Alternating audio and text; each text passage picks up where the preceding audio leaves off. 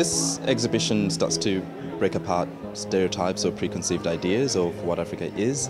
It's called Urban Axis because for a lot of people, Africa is very rural. So you ask them to paint a picture, and all they talk about, you know, is the safari, the landscapes, but never really about the, the city. So we thought we you know, this exhibition should start to talk about the urban landscape and explore contemporary Africa right now. A lot of the artists work in the cities, Johannesburg, Cape Town, Harare, and Kenya. Southern Africa, South Africa, Zimbabwe, Namibia, with a few touch points in Angola. And what they represent is the current discourse that takes into account the history, the tumultuous history of Southern Africa.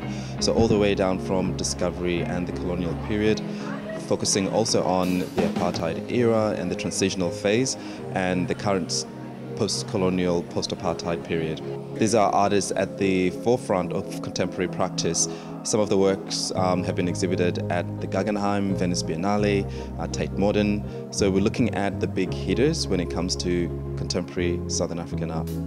By a quirk of fate, one Monday morning at 9 a.m. last June, I had Michael Memeo and Gerald Sanyangori turn up on the doorstep of my gallery in Harare. The first thing I said to them was, what kind of people are you who turn up to an art gallery at 9 o'clock on a Monday morning? And when I found out they're Australians, I really gave them a hard time. I've been living in Zimbabwe and having founded a First Floor Gallery Harare, but I grew up in Australia and by an accident of fate ended up in Zimbabwe. So one of the things that I've really been thinking about for the last few years of how to connect some of the aspects of my Australian experience which have motivated some of the ideas that I've been developing at the gallery.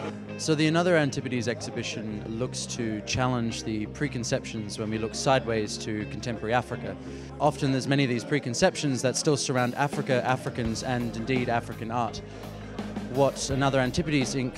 Uh, looks to challenge is, is, and indeed present is uh, contemporary African art in a new light, um, presenting Africa as a dynamic uh, multitude of different opinions, of cultures, uh, of artistic practice. We hope that the West Australian public will come and join us uh, as part of the City of Perth Winter Arts Festival and indeed at our major exhibition down in Fremantle.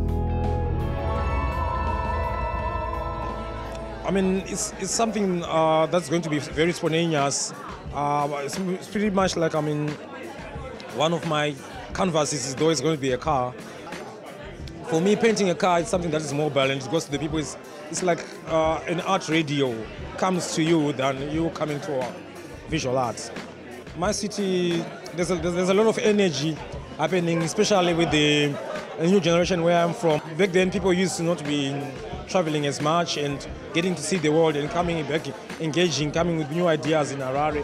So we are growing as a city and we have got so much to learn from other cities and that was one of my reasons to come here to Perth to learn and yeah, get inspired and uh, at the same time uh, exchange.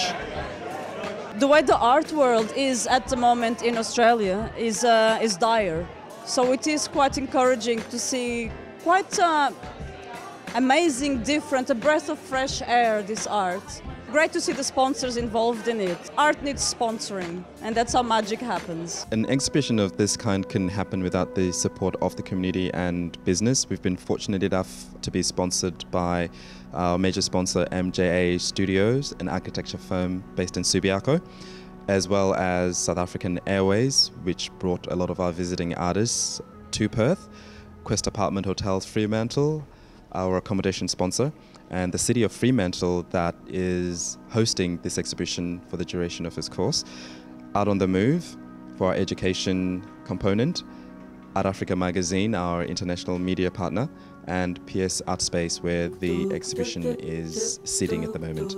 I think it's really important for Western Australia and especially Perth to have an exhibition like this because it helps us understand where our geography really lies and that we're an Indian Ocean city and that we really need to keep building relationships and dialogue between us and other Indian Ocean cities. There's a lot of misconceptions about African art uh, and the African continent in, in general in, in Western Australia, but which is quite funny because we have such a strong connection with Africa in terms of so many um, people have migrated here, so many companies do business over there.